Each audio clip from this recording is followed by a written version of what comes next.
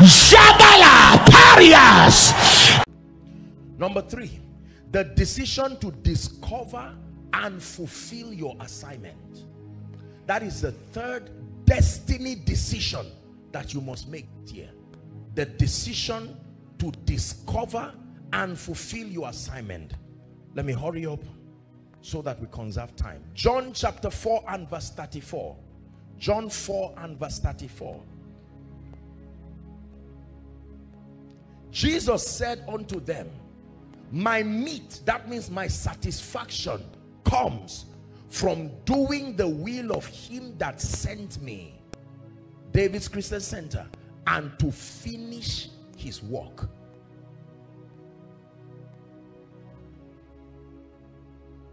Dr.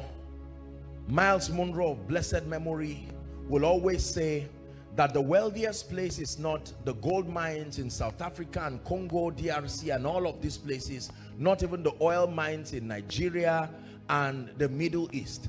That the wealthiest place is the cemetery where dreams were never actualized, books that should have been written that were never written. And his goal was that he would die empty. And even in death, he cheated death. You must make up your mind that this is the year you will stop living a purposeless life. Where someone calls you in the morning and says, bros, what is for today? Say, I'm just sitting down and say, can you come? And that, that's what defines your day. Purpose-driven people almost need prayer to sleep because there is something consuming them there's no distraction. Many of you got into trouble because of idleness. There is a way you can be so busy even the devil will wait for you. Because your level of focus and determination is such that nothing will bend your focus. Vision gives your life focus. You are busy but not doing many things. Very busy. If you find yourself doing many things it's a sign that you've not found your place in life you should be busy but not doing many things.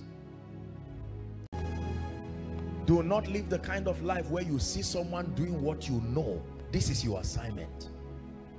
When God finds out that you are careless over your assignment he will look for someone who is faithfully doing his and has increased capacity. He will honor him and add your assignment to him. This is why you find out that some people start ministry and life not intending to do certain things. But because God searches for available vessels and they are not there he comes to them and say can I add this to you? I have seen that your stamina can take this. And you say Lord I love you. Bring it on. He will multiply their honor and still grant them that grace.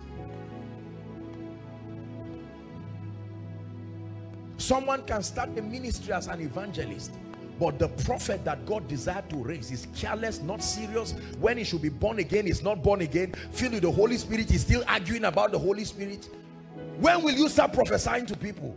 God will raise that evangelist who is available. The evangelist is going through the discipline of a prophet. God will add that prophetic to that man. You find out for five years he started with evangelism. But right now he has switched even to the prophetic because God intends for his agenda to advance. And if you become an interruption to his agenda believe me he loves you but he will find the replacement. This is one thing I know about God. When you know you will be serious with God. There is nobody who is indispensable. No sir. No sir. Don't say God lacks men. There are men who don't make the mistake of Elijah to say I'm the only one. There are 7,000 others. David Christian Center, if God has given you the privilege to be a head of department, to lead a unit, do not ever let it get to you that I am the only one. It is just by meritocracy. No, sir. Because God can pick ordinary people and place something on their lives and grant them the great. Destiny is like a relay. That means if God desired that I run with my purpose and hand it to this man and he hands it to this man that means if I refuse to live purpose I'm punishing these people. God is too merciful to allow them suffer for my carelessness. He will put a replacement to do that work.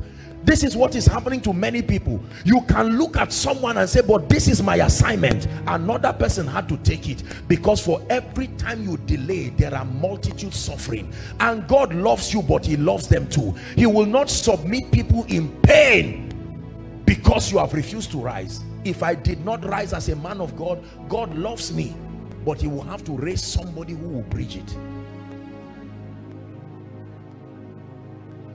the refusal to discover and find your place can cost you your bishopric. He said his bishopric let another take. Ah god don't replace me. I'm ever available. Ever available. Whatever